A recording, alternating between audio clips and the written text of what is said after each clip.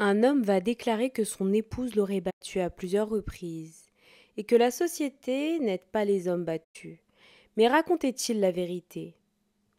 Hola, j'espère que vous allez bien. L'affaire du jour s'est déroulée aux États-Unis. Restez jusqu'à la fin car la sentence va vous choquer.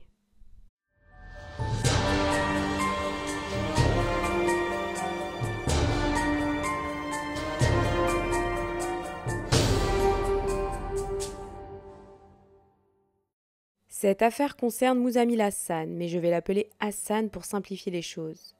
Hassan est né au Pakistan le 26 mai 1964.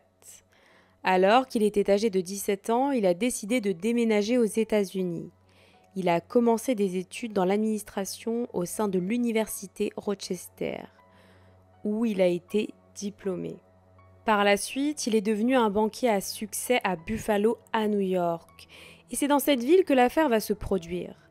Nous pouvons dire qu'Hassan a bien réussi dans la vie. Il lui manquait l'amour et il va rencontrer sa première épouse, une américaine qui se nomme Janice. Le couple a eu deux enfants, mais ce mariage n'a pas duré longtemps. Janice va demander le divorce et nous allons comprendre pourquoi par la suite. Il va rester célibataire quelque temps et par la suite il va faire la rencontre d'une Pakistanaise se nommant Sadia. Mais ce second mariage ne va pas durer longtemps non plus. Il a été très court, ils n'ont pas eu d'enfants et sont restés ensemble trois mois, puis Sadia va demander le divorce. Elle a demandé le divorce car Hassan la battait et la maltraitait psychologiquement. Il a fait de sa vie un enfer, donc elle se sépare de lui et Hassan restera célibataire quelque temps. Quelque temps après ce second divorce, Hassan va se créer un profil sur un site de rencontre et en janvier 2000, il va faire la connaissance de Asia, qui va être le personnage principal de cette histoire. Asia est née le 17 juin 1972 au Pakistan. Elle était architecte. Elle et Hassan discutaient et apprenaient à se connaître en ligne. Et après quelques mois seulement, ils décident de se marier. En octobre 2000, Hassan quitte les États-Unis en prenant avec lui l'un de ses enfants issus de son premier mariage et va se rendre au Pakistan pour se marier avec Asia, qu'il avait connue sur Internet. La cérémonie a donc eu lieu au Pakistan en présence de l'un de ses fils, et il va ramener avec lui sa nouvelle épouse Asia aux États-Unis. Le couple va vivre à Buffalo, à New York, il vivait une vie de luxe. Ce mariage va durer un peu moins de 8 ans, et durant le mariage, ils vont avoir deux enfants, un garçon et une fille. Asia était une personne très religieuse et donc elle a commencé à convaincre son mari d'ouvrir une chaîne américaine musulmane qui apprendrait aux gens les fondements de l'islam pour les enfants. Elle voulait aussi apprendre l'islam à ses enfants. Hassan n'a pas tout de suite adhéré à cette idée car il était banquier et il avait peur d'être mal vu. Mais Asia a insisté et elle a finalement réussi à le convaincre. En novembre 2004, ils vont créer la Bridge TV, qui a été la première chaîne américaine musulmane à projeter ses programmes en anglais. Les émissions consistaient à apprendre l'islam, le programme pouvait être traduit en arabe ou une autre langue. Cette chaîne a fait un carton au sein de la communauté. Le couple a reçu un prix en 2007 suite à la création de ce canal. Ils donnaient l'image du couple parfait. Ils étaient riches, créateurs de chaînes, patrons, mais au sein de leur vie privée, l'histoire était tout autre. Après seulement deux ans de mariage, les disputes ont commencé au sein du foyer familial. Tellement la situation était grave, Asia a dû appeler la police à dix reprises. Elle a porté plainte à dix reprises à l'encontre de son mari. Elle a même fait des examens médicaux suite à ces violences. Et l'examen montrait clairement que Hassan battait sa femme. Asia ne supportait plus cette situation, elle va donc décider de divorcer.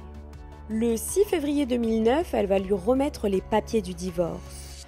Elle va lui remettre dans les studios de leur chaîne TV. Hassan s'est tout de suite énervé. Il va taper dans les portes, il lui court après, cogne dans les portes, il a même cassé une vitre ce jour-là.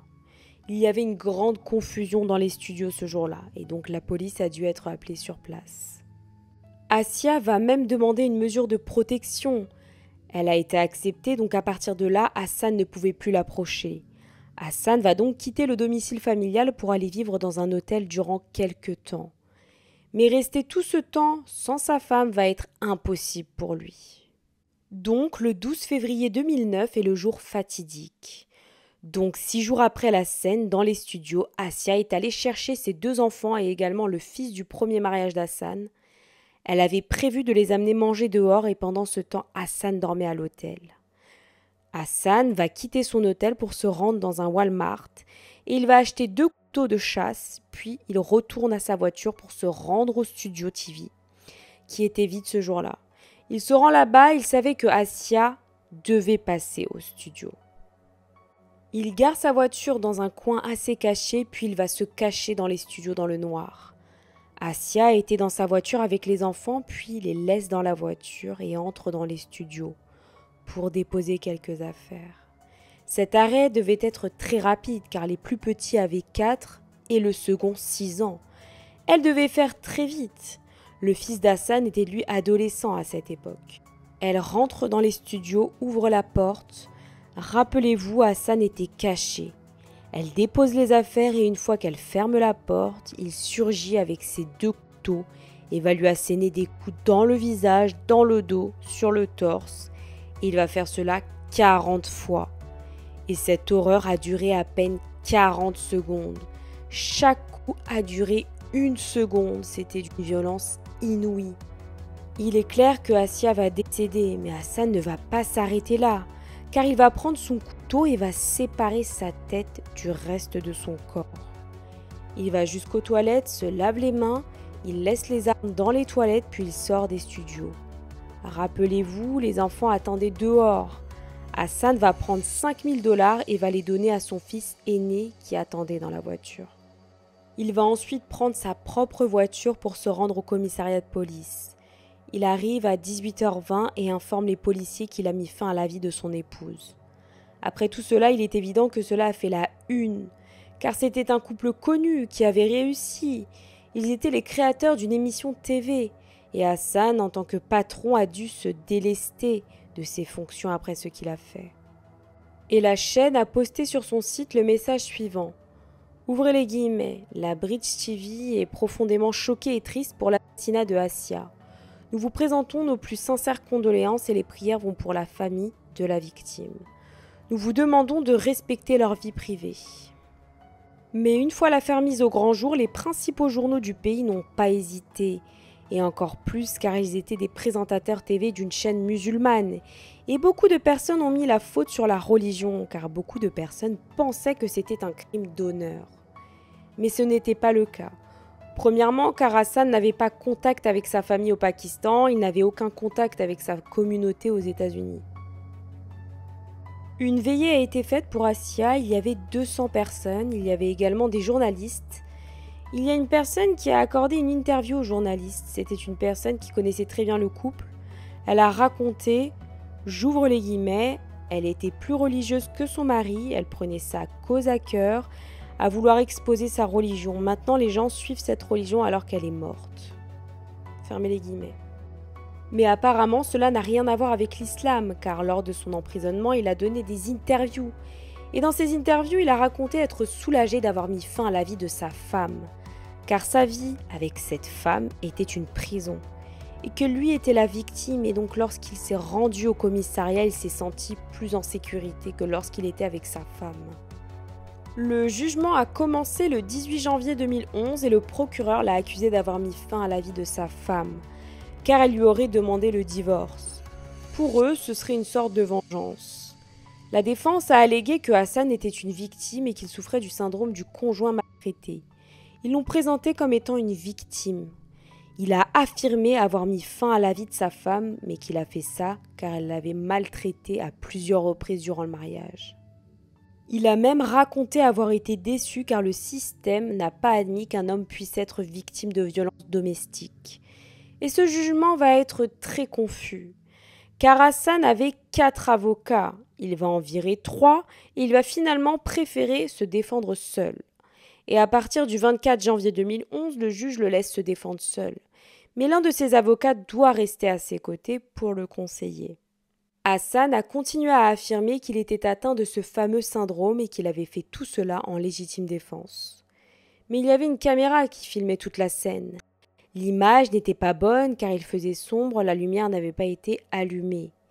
Mais même comme ça, on pouvait voir qu'elle n'avait aucune arme à la main et qu'elle n'a même pas réussi à se défendre, car tout a été très rapide. L'attaque a été tellement rapide qu'elle n'a pas pu se défendre.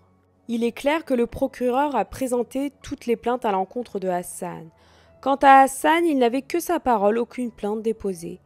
Et il n'a amené aucun témoin qui pouvait appuyer ses dires comme quoi il a été victime dans cette relation. Et une autre chose très importante à mentionner est que Michael et Sonia, qui étaient les enfants du premier mariage de Hassan, ont témoigné contre leur père lors de ce jugement.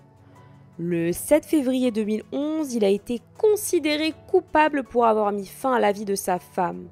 Et il a été condamné à la prison à perpétuité avec un minimum de 25 ans. Et le juge a été excellent car il lui a clairement dit non, ce n'était pas de la légitime défense, donc il a été condamné, il lui a également été interdit d'approcher ses enfants, ceux eus avec Asia.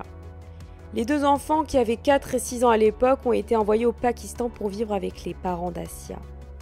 Mais cette affaire ne se termine pas ainsi, car il y a des informations concernant Hassan assez récentes. En mai 2019, donc 10 ans après les faits, Hassan rentre en contact avec une journaliste qui anime un programme TV très connu, il lui demande à plusieurs reprises une interview car il a besoin de raconter sa version de l'histoire. Après un certain temps, elle accepte. Il était encore incarcéré évidemment, la journaliste s'est rendue dans sa prison.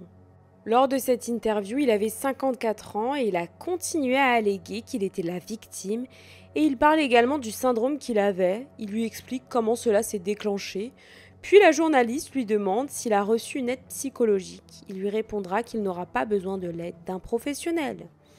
Et à cette même époque, il publiait sur un blog où il racontait encore une fois que c'était lui la victime et que personne ne le croyait, car c'était un homme. Et les gens devaient savoir que oui, les hommes peuvent être maltraités. En 2022, il a donné une seconde interview lors d'un podcast qui dure deux heures il continue à maintenir les mêmes propos. Il va même parler de l'affaire Johnny Depp en disant Vous voyez, l'affaire de Johnny Depp, c'était l'homme qui souffrait, il a été la victime. Nous pouvons voir qu'il ne regrette pas ce qu'il a fait, surtout en voyant sa victimisation. Jusqu'à aujourd'hui, il affirme que tout cela était de la légitime défense et que c'était lui qui souffrait dans ce mariage. Il est vrai que certains hommes souffrent aux mains des femmes, mais dans cette affaire, les preuves sont incontestables. Il n'a jamais porté plainte, n'avait aucune trace sur le corps.